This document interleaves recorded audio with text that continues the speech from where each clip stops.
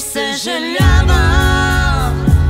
напред продължавам. Скъпи приятели, очаквайте дует Експоз на среща с мен вторник 14 часа телевизия BG+. Не съжалявам.